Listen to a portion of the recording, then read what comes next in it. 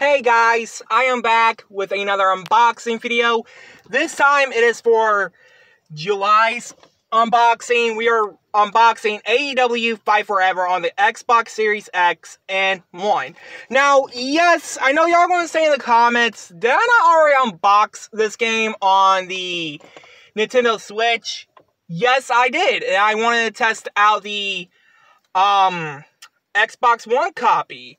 And yes, I heard Adam Copeland is a DLC in the game, so but which sadly he won't be released till the 12th of June. So anyway, guys, um yeah. Let's go ahead and get out of the box, shall we? Alrighty, guys. There is the disc.